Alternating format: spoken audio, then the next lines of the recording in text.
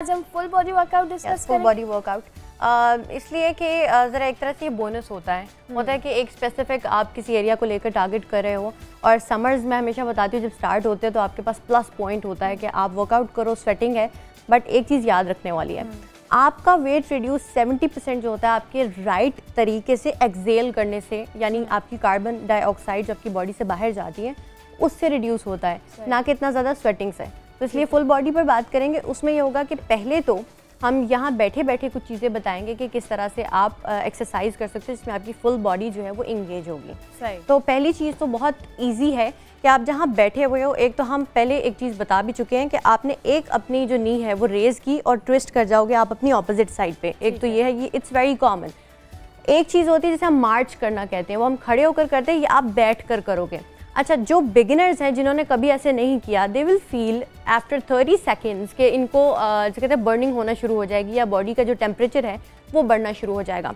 इसके अलावा अगर आपके पास डम्बल्स हैं या पानी की बॉटल्स हैं आप सिर्फ़ पानी की बॉटल ले सकते हो अगर ये भी नहीं है तो सिर्फ़ आपको अपने हाथ से मूव करना है। करना क्या है कि आप थोड़ा सा अपने सोफ़ा के जो एज पर आए आपने एक लेग रेज की उसके बाद जिस डेड लिफ्ट करते हैं आपने बिल्कुल उसको स्ट्रेट नीचे लेकर जाना है अपना बॉडी वेट जो शिफ्ट करना है ये। अगर आप वेट के बगैर भी कर सकते हो तो भी ये अच्छा है। इसमें ये होगा कि जैसे आप नीचे झुकते हो तो आपका जो पेट है वो टारगेट होता है जो कई दफ़ा उस पर फैट होता है, है। आपने वेट पकड़ाया है आपकी अपर बॉडी टारगेट होगी और आप साथ ही मूव कर रहे हो तो आपके जो लोअर बॉडी भी टारगेट होगी। अब अगर आप चाहो कि इसी को चेंज करना कि आपको नीचे झुकना हम्म। मुसीबत लग रहा है मुश्किल लग रहा है तो आपने सिर्फ़ एक या एक लेग रेज की यहाँ इसको रखा ये चीज़ आप कर सकते हो बट स्लोली ठीक है। ये किया इस तरह से। आपने हर जो जितनी भी चीज़ बताई जा रही है सिर्फ़ और सिर्फ़ इसको थर्टी टाइम्स करना है। ये कहने में सिर्फ़ और सिर्फ़ है लेकिन थर्टी टाइम्स थर्टी टाइम्स करना है और दरमियान में रुकना नहीं है। अब बर्निंग हो रही है कुछ भी आपको इंड्योरेंस बढ़ाने का यही तरीका होता है। हम स्ट्रेंथ और इंड्योरेंस में थोड़ी सी कन्फ्यूज़न क्रिएट करते हैं। तो इंड्योरेंस यही होती है कि आप जितना आपको फील हो रहा है उससे कुछ सेकेंड्स और ज़्यादा आपको आगे जाना है। वहाँ आपको रुकना नहीं है। अब कुछ चीज़ें होंगी जो हम अपने मैट पर भी बताएँगे। ठीक है वो किस तरह तो से हो सकती चलते हैं और सलाफे में मैट पे कुछ भी बता देती हैं।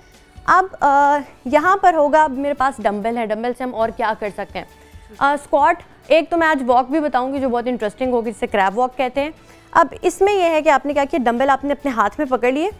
पहले तो आपने अपना फेवरेट जो होता है हमारा स्क्वाट स्क्वाट करने के बाद इसको आपने मूव किया जिस तरह हम बैठ कर कर रहे थे। तो आपके पास ऑप्शन है कि आप बैठ कर करना चाहें या आप खड़े हुए तब करो। अब होता है लंजेस लंजेस की सिर्फ़ आपने पोजिशन में आना है।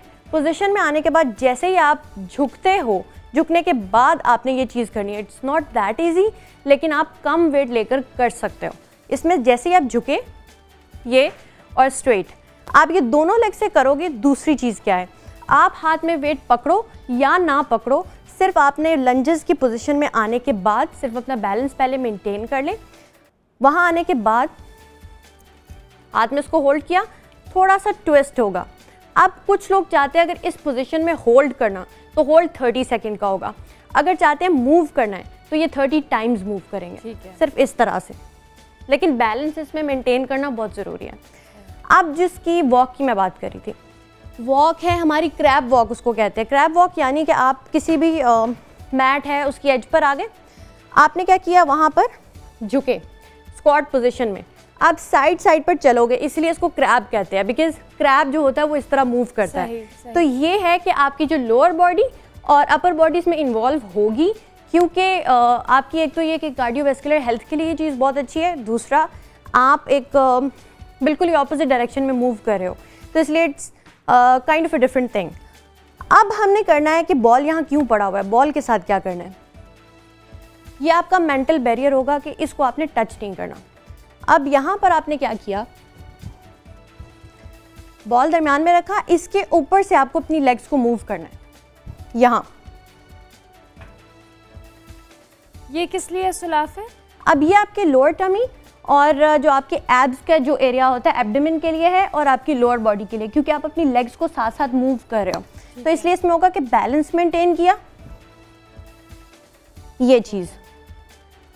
अब अगर चाहते हैं कि वार्म अप भी हो और वेट भी रिड्यूस हो अब आपने वन मिनट का यहाँ पे जो, जो स्टॉप वॉच होती है वो लगा ली और आपको करनी है इसको बट किक्स कहते हैं। आप इसको मूव करते हो लेग्स को पीछे को। ये। ये चीज़। अब अगर आपने इसको और ज़्यादा इंटेंस बनाना है तो आप टच करोगे इसको। हम्म। इस तरह से। ये चीज़ होगी। लेकिन बिगनर्स इतना इंटेंस नहीं कर सकते। हाँ बिगनर्स जो होंगे सिर्फ़ कोशिश करेंगे यहाँ पर। जिससे हम कहते हैं कि जॉग इन द प्लेस जिस जगह पर आपको हो वहाँ जॉग करो। कितने सेकंड्स आपको अब आपको ये वन मिनट की स्टॉप वॉच लगानी होगी। होगा ये कि आप अपनी स्पीड कम कर लो। वो इतनी तेज़ मत करो। थ्री राउंड्स के अंदर आप इस चीज़ को करोगे। अब आता है हमारा एक प्लैंक प्लैंक में ज़रा मुझे पता है, मुझे आवाज़ पड़ जाएगी कि ये मुश्किल है। इसमें हमने ये करना होगा कि प्लैंक पोजिशन में आप आओगे या ब्रिज पोजिशन जिसे हम कहते हैं। इसमें आए and you have to tap यहाँ, सिर्फ़ आपने टैप किया। आप थक जाएँ तो वन मिनट तक आपको ये करना है। आप थक जाए, आप नीचे नहीं जा सकते। आपको इस पोजीशन में मूव करना है। जैसे ही दोबारा आप मूव करो वन मिनट तक। वन मिनट तक आप मुसलसल इस चीज़ को करते रहोगे। चाहे जैसे कहते हैं आपको लग रहा है कि मुश्किल हो रहा है लेकिन चैलेंज जो ओवरवेट लोग हैं या जिनकी थोड़े वेट का इश्यूज़ है वो इतनी देर नहीं कर पाएँगे। जो ओवरवेट हैं या हाँ एक चीज़ उनको रिकमेंड की जाती है कि कभी भी अपने जो कोई भी आपको कहे ना कि आप घुटने तोड़ने वाला वर्कआउट करें वो मत करें। हम्म। उसमें आप क्या करोगे? आप झुकोगे सिर्फ़ यहाँ पर? सही। कोशिश करोगे कि यहाँ। इसको कोशिश करो कि आप लिफ्ट कर सको हाथ को। उसके बाद स्लोली स्लोली लेग्स होल्ड किया। अब अगर इसी को आप योगा में चाहते हो कि शिफ्ट कर दो तो इसमें होगा जैसे ही आप अपनी लेग को लिफ्ट करेंगे इनहेल एंड एक्सेल यहाँ इनहेल एंड एक्सेल ये चीज़। अब लंजेस भी बता दिए क्रैब वॉक भी है और साथ ही आपको वो चीज़ बता दी कि जहाँ आपकी जो कार्डियो हेल्थ है कार्डियोवेस्कुलर हेल्थ जिसको कहते हैं, वो बेहतर हो। आ, कुछ चीज़ें होती हैं जो हमें कहा जाता है कि लोअर टमी जो है ना उसको टारगेट करना बड़ा मुश्किल है। एक एक्सरसाइज होती है बड़ी आसान होती है वो वाकई में आसान होती है। आप यहाँ हो चाहे इस पोजीशन में या जस्ट लाई डाउन ये आपकी मर्ज़ी होगी। लेग्स को आप थोड़ा सा स्ट्रेट रखोगे और इसको हम सिजर्स बोलते हैं। तो आप या तो lie down just lie down यहाँ। ये ऑपोजिट लेकर जाते हो। ये लोअर टमी के लिए? यस yes, ये लोअर टमी को टारगेट करेगा। अगर आप चाहते हो कि आपका जो अपर एब्डोमेन है या अपर टमी जिसे हम कई दफ़ा कहते हैं अब आम ज़ुबान हम कहेंगे जो ऊपर वाला पेट होता है उसको टारगेट करने के लिए क्या करना होगा कि इसको हम थोड़ा सा ऊपर के लेवल पर लेकर जाएँगे। सही। यहाँ पर। और जो नॉर्मल होगा या आप मूव कर सकते हो ऊपर नीचे दैट्स फाइन यहाँ। अब बॉल के साथ आपने क्या करना है? बॉल पकड़ा। अब स्लो आप बताने लगे अब ये है कि आपकी पूरी बॉडी इसमें इसलिए इन्वॉल्व होगी कि आप स्लोली स्लोली एक स्टेज को क्लियर करोगे। हम अक्सर करते हैं जो क्रंचेज होते हैं या सेटअप जिन्हें कहा जाता है हम सेटअप या क्रंचेज करेंगे तेज़ तेज़। लेकिन इसमें हम स्लो जाएँगे। कोई भी वेट या कोई भी आसान सी चीज़ अगर आपने नहीं भी कोई चीज़ हाथ में होल्ड करनी दैट्स फाइन यहाँ रहे। स्लो अब कोशिश करें कि जो आपकी रूफ है आप कोशिश करें कि आप उसको टच कर रहे हो तो आपने ये मूव करना है। पीछे गए। स्लो अब ये जितना स्लो होता है उतना इंटेंस होता है। चाहे तो आप अपनी लेग पूरी नीचे लगा सकते हैं या लोग अगर अपने लिए थोड़ा सा और ज़्यादा आसान बनाना चाहते हैं बिकॉज़ कंप्लीट उठना थोड़ा सा मुश्किल होगा। मुश्किल हो जाता है थोड़ा पीछे गए। सिर्फ़ ये। ये चीज़। अब हमारे लिए जो बड़ा आसान होता है जैसे मैं रशियन क्रंच कहती हूँ कि बॉल को यूज़ करते हैं आप क्या कर सकते हो? तो वो रशियन क्रंच होता है। और ये किस लिए होता है और ये कितनी दफ़ा करना है ये होता है आपके स्पेशली लव हैंडल्स के लिए। जो जो साइड फैट होता है वो नहीं टारगेट हो रहा होता ज़्यादातर। हम्म। तो आप उसको टारगेट करना चाहते हो वो चीज़ होगी और आपका लोअर टमी जाएगा। और एक चीज़ जो हम कई दफ़ा कहते हैं एब्स इतनी आसानी से नहीं बनते। राइट टेक्निक हो अगर आपकी टेक्निक ठीक है ना तो आप कर सकते हो। अक्सर होता है कि हम एक्सरसाइजेज कर रहे हो तो मैं लेग रेजेस के बारे में भी एक चीज़ बता दूँ। हम लोगों को कहते हैं जब हम लेग रेज कर रहे होते हैं अपनी हाँ तो बहुत सारे लोगों को मैंने देखा है कि उनकी जो बैक है उसमें गैप आ रहा होता है। हम्म। और वो फिर आप जितनी मर्ज़ी लेग्स ऐसे ऐसे करें उससे कुछ नहीं होगा। बिकॉज़ आपकी सही बॉडी इंगेज होना बहुत ज़रूरी कि आपकी जो बैक है वो फ्लोर के साथ लगी हुई हो। फिर आपका इतना कंट्रोल आप लेग रेजेस करें।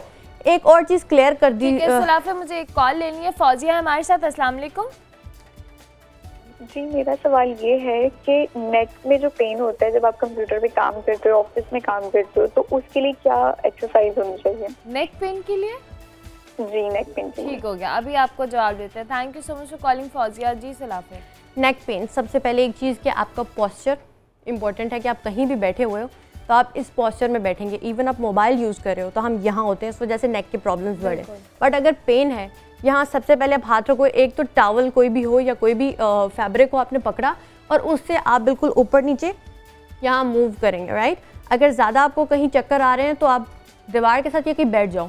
ये आप खड़े होकर नहीं करोगे। यहाँ आपने हाथ रखा साइड ये तो नॉर्मली होगा? लोग अपने ऑफिसेस में भी थोड़ी देर अक्सर मैंने कहा है पर बैठकर इस तरह का अक्सर मैंने कहा एक चीज़ याद रखे कि आपको हमेशा जब भी कहीं पेन होता है इंसान अनकॉन्शियसली वही करता है जो उसका क्योर होता है। तो बहुत जगहों पे जब कई दफ़ा हमें होता है हमें नेक में पेन है तो हम यही कर रहे होंगे ज़्यादातर। तो ये आपका क्योर है। आपने इसको सिर्फ़ थोड़ा सा रोटेट किया। रोटेट करने के बाद अगर आप खड़े हुए हो बैठे हुए हो तो थोड़ा सा इसको झुकाने के बाद आर्च में ले जाएँगे। इनहेल एंड एक्सेल सही। यहाँ। तो आपको फील होगा कि एक तो पॉस्चर को सही करना बहुत ज़रूरी है क्योंकि उससे फिर नेक के इश्यूज़ काफ़ी हद तक सॉल्व होने शुरू हैं। एक चीज़ मैं बताने वाली थी मुझसे मैं खुद अपना एक्सपीरियंस थोड़ा सा बता दूँ। मुझसे स्प्लिट नहीं होता। हालाँकि मैं मार्शल आर्टिस्ट हूँ एक्सरसाइज करती हूँ बट स्प्लिट नहीं कर पाती। तो हर एक्सरसाइज हर किसी के लिए नहीं होती। ये सही बात है। डेड लिफ्ट बहुत सारे लोगों के लिए नहीं होती। तो मुझे बहुत ज़्यादा लोग फोर्स करते हैं लाइक देखो स्प्लिट नहीं होता तो तुमसे कुछ भी नहीं होता। ऐसा नहीं है ये याद रहे मुझे इंजरी भी हो चुकी हुई है इस वजह से। तो अगर कोई एक्सरसाइज आपसे नहीं हो रही आप स्विच कर जाओ किसी दूसरी एक्सरसाइज में पर खुद को इस तरह फोर्स नहीं करना। अब बहुत सारे ऐसे लोग जैसे कहते हैं कि आ, हमें थोड़ी सी चीज़ें मुश्किल लग रही हैं अब आ, कोई चीज़ योगा में बता दी जाए। तो उसमें होगा सिंपल आप स्ट्रेच में आओगे सबसे पहले inhale exhale inhale and exhale शुरू में आप स्लो स्लो जाओगे 30 सेकंड किस लिए बता रही हैं? अब ये होगा कि आपकी जो ये अपर बॉडी है और स्पेशली आपके आर्म्स हैं और आपकी जो जिस तरह आप नेक की भी हम बात कर रहे थे तो इसी तरह आपकी बैक की जो फ्लेक्सिबिलिटी है वो भी अच्छी होती है और जो फ्लेक्सिबिलिटी के साथ साथ आप टोनिंग की तरफ़ जाते हो। तो इसमें होगा थर्टी सेकेंड तक आप थोड़ा सा स्लो रहेंगे पीछे गए तो यहाँ इनहेल हम्म। वापस आए एक्सेल अब जैसे ही आपने थोड़ा थर्टी सेकेंड गुजरे या आपको लग रहा है कि बॉडी जो है वार्म अप की तरफ़ जा रही है तब आपने थोड़ा सा इसको स्पीड से आपको करना होगा। जहाँ आपको कहीं प्रॉब्लम लगता है तो अपने पास कोई सहारा या कोई चीज़ रखें क्योंकि मैं नॉर्मली उन्हीं लोगों के लिए बताती हूँ जो अगर जिम नहीं भी जा सकते किसी तो वो घर पर कर वो घर पर वर्कआउट कर सकते हैं।